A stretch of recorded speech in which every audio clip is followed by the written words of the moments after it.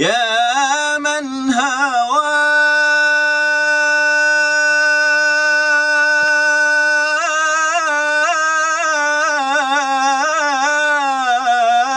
أعزه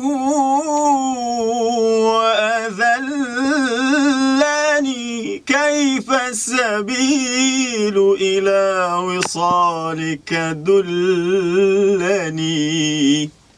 انت من طفولتك عاوز تكون منشد. آه.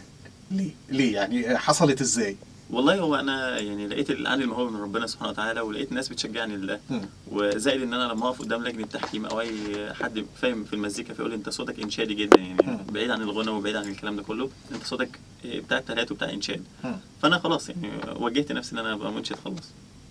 فمن الطفولة انت آه، خلاص وجهت نفسك أنا بالظبط. أنا هبقى منشد. بالظبط. وانت صغير كده تفتكر كان كام سنة فكرة إن أنت عايز تبقى منشد؟ من سن كام؟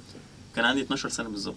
كنت بتسمع مين في عمر 12 سنة؟ كنت في الوقت ده بسمع الشيخ ناصر الدين طوار كتير جدا يمكن من أول المنشدين اللي سمعتهم. مش كبير الموضوع على طفل عنده 12 سنة وهو بيسمع الشيخ نصر الدين طوبار يعني مش والله ده أنا لما كبرت كمان. يعني حسيت إن أنا المفروض كنت أسمع أكتر من كده كمان.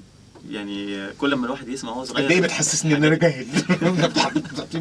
لا خالص والله بس آه، كل ما يكون عندك الموهبة وأنت تنميها بجد من صغرك كل ما تكون صغير كل ما هت- هتكبر معاك أكبر. يعني إحنا عندنا في في التوشيح أو في الابتعادات بتاعتنا دي نقول كل ما تحفظ توشيح ديني فأنت بتعلى درجة.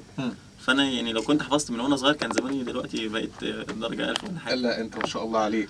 أين اليمين؟